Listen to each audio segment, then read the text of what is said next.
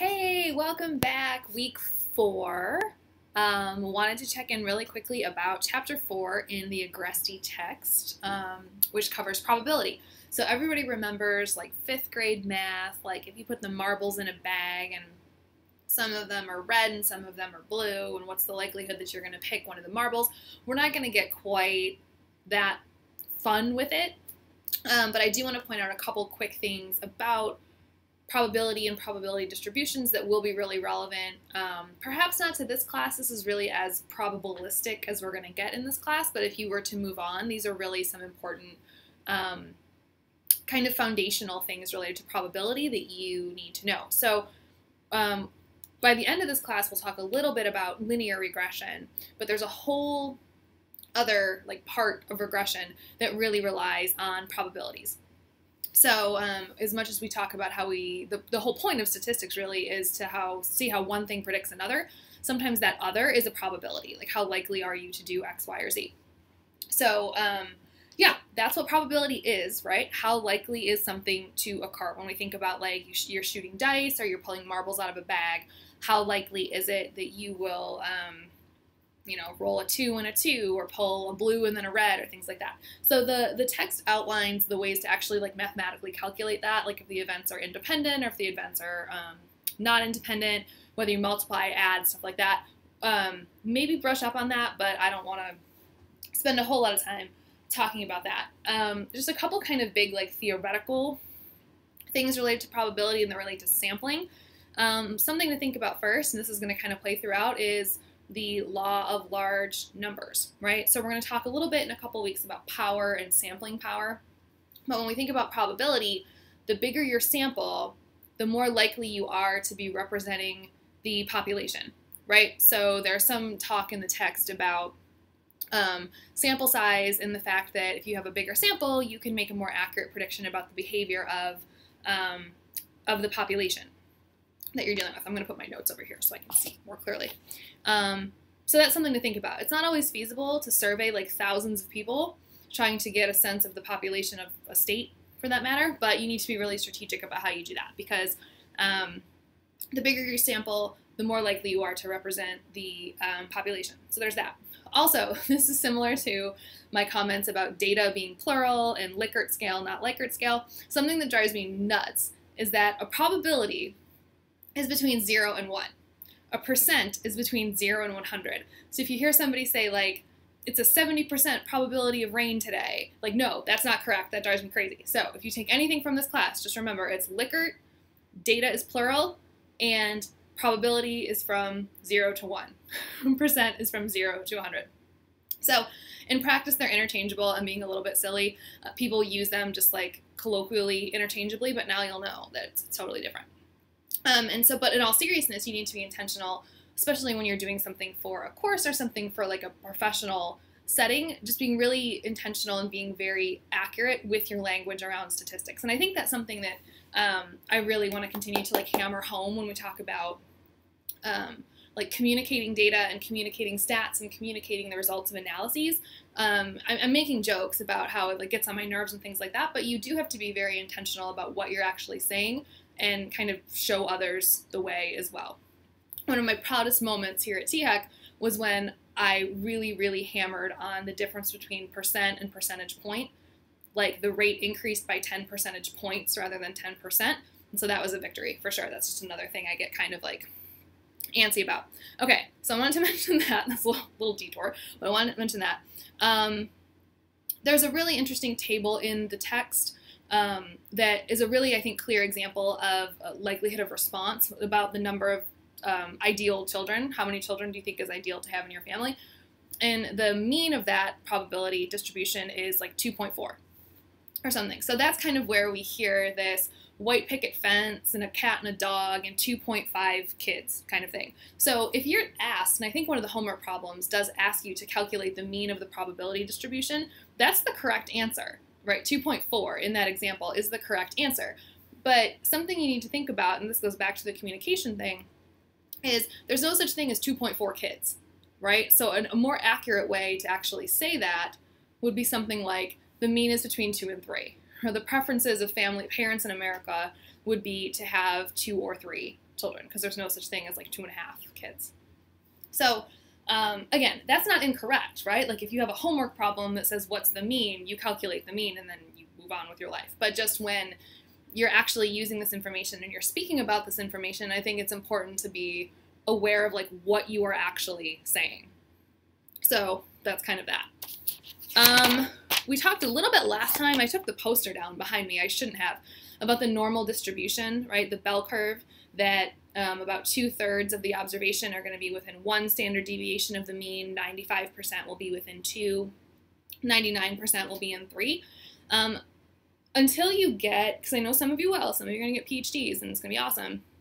Until you get really, really far down the line of statistical coursework and stats work, you're pretty much going to rely on the normal distribution. You're not going to think about Poisson distributions and all other kinds of crazy distributions. Unless you like that kind of thing and you're a math person, then like go for it. But um, pretty much that's kind of the rule of thumb. And the book talks about that as like a golden rule or a rule of thumb or something, the 68, 95, 99. So that's something to, to commit to memory as well. Um, something that is kind of a, a next like logical extension of that is a z-score. And basically what a z-score is, is the number of standard deviations from the mean that an observation is. So it's not always going to be like a perfect 68%, 95%, 99%. Um, and a z-score will tell you just how far it actually is. So the bigger the z-score in either direction, right, because the normal curve is symmetrical, the further away it is from the mean. So the book gives some examples about IQ scores and ACT scores. I would and SAT scores. I would encourage you to to look those over because those are good examples. But the one that keeps coming to my mind has been in the media a lot recently about people who have like a million dollars in student loans.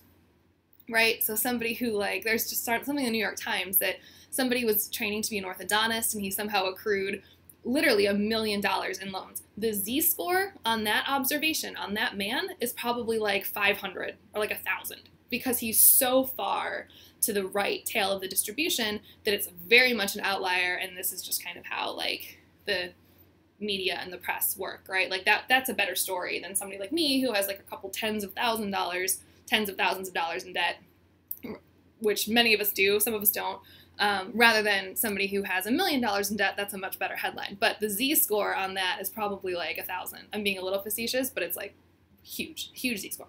So, how far is the, uh, the, uh, the observation that you're concerned about from the mean is the Z score. You might be asked to calculate that like in an intro stats class, like beyond this one, but there's usually going to be a table.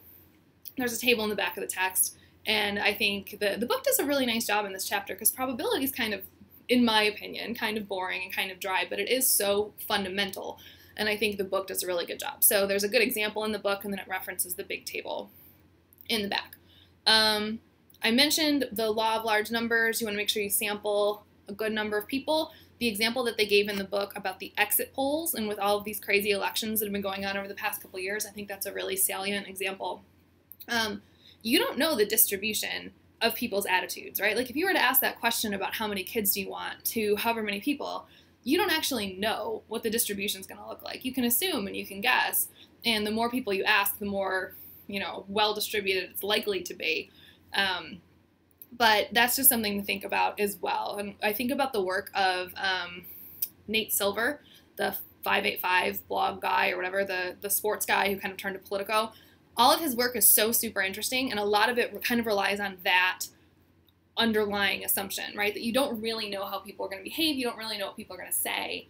Um, so you need to be aware of that in what you are analyzing and calculating and the um, the conclusions that you draw. So I think that's really important as well. Um, the last thing I want to mention is standard error. We're going to talk about standard error a little bit more as the class goes on, but the standard error is essentially the standard deviation of the sample. So you have a population of people that you're interested in. Let's say the population is um, adults in the state of Tennessee. You sample them and you do a survey of a sample of however many people. So the standard deviation of that sample, of that sample's distribution of responses on your survey, is the standard error. And in the long run, because we want to approach the, the law of large numbers here, so in the long run, the more and more people that you um, survey, the standard error of that sample will equal the standard deviation of the population. So this is a really common metric, not necessarily to calculate, though you might have to calculate it at some point, sigma over radical n, right? So the standard deviation of population over the, the um, square root of the number in the sample, right? Um, so you might need to calculate this for like, you know, more stats classes that you take. And it's a pretty simple formula, so that's great, right? But it's it's always going to be presented in a regression table. If you were to read an article, if you were to read a journal, um, there's always something in parentheses under like a coefficient, like you see the number with the stars, and there's always something under it. That's the standard error. So that's a very commonly used metric. Um, again, you don't need to calculate it, and there are many, many, many programs that will calculate it for you as long as you know what you're calculating. Don't just push buttons. Um, but for the purposes of, of learning in more stats classes that you may take, you may need to calculate it. Um, that's pretty much it. There are some really good examples in the text throughout this chapter, which is cool. Um, the the last one has to do with um, I think migrant workers or something. So there was just really good. Um, I know this text is particularly like specialized for the social sciences. I just think it's also very timely given kind of where we're at here in 2017, 2017 2018. It's been 2018 for six months. Um, and I just I think they're really good examples. So I'm happy to give more examples. I'm happy to talk more about this. Always call or email with questions.